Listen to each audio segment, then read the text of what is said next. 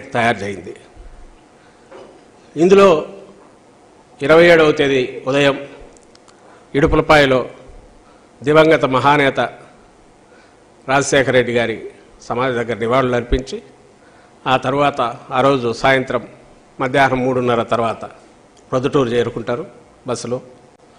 అక్కడ తొలి ఈ మేమంతా సిద్ధం సభ జరుగుతుంది కార్యకర్తలతో అభిమానులతో. ఇది చాలా పెద్ద ఎత్తున జరుగుతుంది. అంచనాలకు మించి కూడా హాజరవుతారు. వైఎస్ఆర్ కాంగ్రెస్ పార్టీ సభ అంటే జగన్మోహన్ రెడ్డి గారి సభ అంటే అది ఏ స్థాయిదైనా అయినా ఎలా ఉంటుందంటే ఇప్పటికే ఒక ప్రతీతి ఉంది. తిరణాలలాగా ఉంటుంది.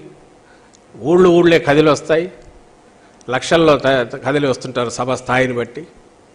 చిన్నపాటి ఎన్నికల సభ అయినా వేలల్లో ఉండడం అనేది అందరు చూశారు. అదే ధోరణి ఉంటుంది అదే మోతాదు ఉంటుంది. గతంలో ఎన్నడూ లేనంతగా రోజుకొక్క మహాసభ లాంటిది జరుగుతుంది.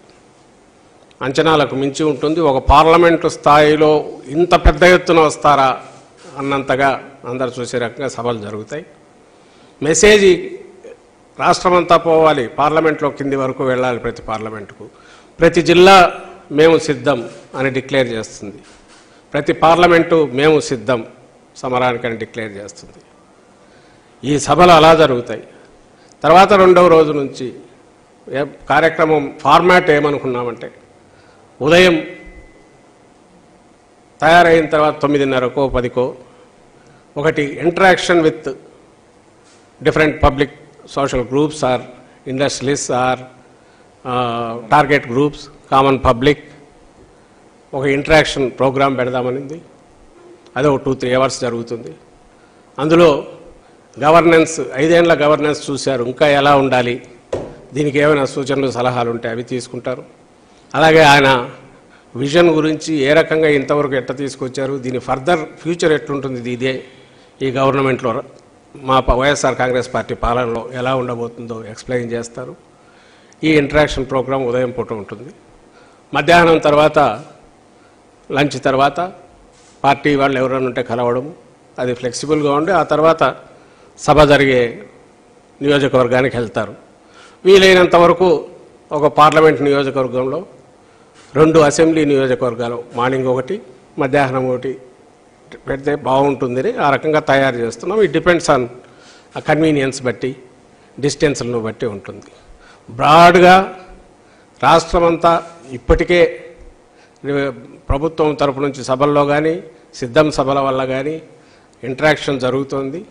ఇది పూర్తిగా రాజకీయపరమైన ఎన్నికలకు సంబంధించి మేము ఇంతకాలం చేసింది. ఇప్పటికీ అందరూ ఏకమై ప్రత్యర్థులందరూ అన్ని రకాల శక్తులు ఏకమై జగన్మోహన్ రెడ్డి గారిని ఎవరు కూడా ఒంటరిగా డి అనే ఆలోచన కూడా చేయలేని నేపథ్యంలో చేయగలిగిన సత్తా లేని నేపథ్యంలో అందరూ ఏకమై వస్తున్న పరిస్థితి అందరూ చూస్తుంటే ఈ పక్క ఒంటరిగానే ఒంటరిగా బై ఛాయిస్ అంటే ప్రజలకు మేమేదో అర్థం కావాలి పార్టీ విధానాలు అర్థం కావాలి తప్ప గందరగోళం కలగోరగంప పోకూడదని విధానం ఏదైతే జగన్మోహన్ రెడ్డి గారు తీసుకున్నారో దాని ప్రకారం ఒక స్పష్టత స్పష్ట స్పష్టమైన ఒక బ్రాండ్ వైఎస్ఆర్ కాంగ్రెస్ పార్టీ జగన్మోహన్ రెడ్డి గారు. విధానాలు ఏంటివి అనేది మళ్ళీ చెప్పి అలాగే సలహాలు తీసుకొని పాదయాత్రలో పెద్ద ఎత్తున ఏదైతే జరిగిందో సూక్ష్మ స్థాయిలో అలాంటి సూచనలు సలహాలు తీసుకునే ప్రయత్నం ఈ యాత్రలో జరుగుతుంది. అలాగే సందేశం ఇచ్చే స- ప్రయత్నం సభల ద్వారా కార్యకర్తలకు దిశానిర్దేశం చేసే ప్రయత్నం కూడా జరుగుతుంది.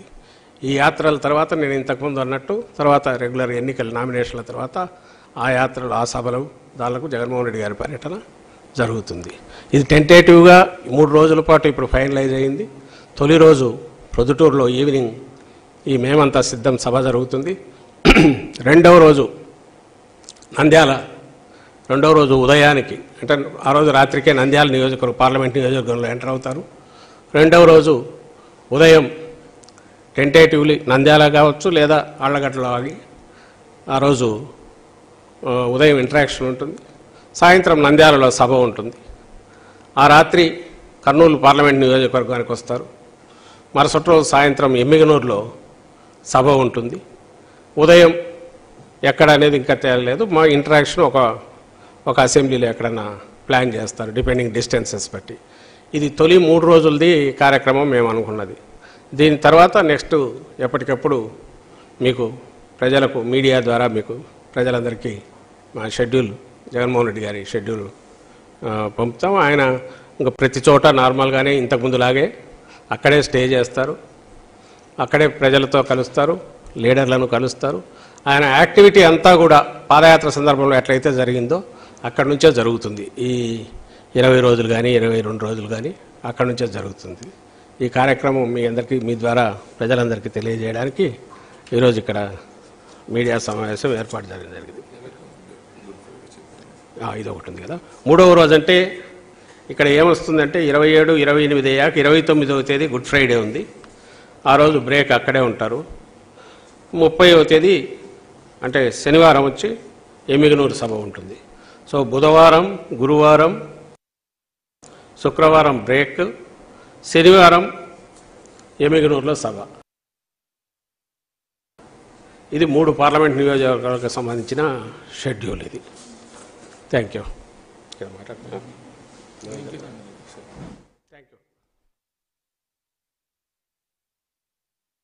యూ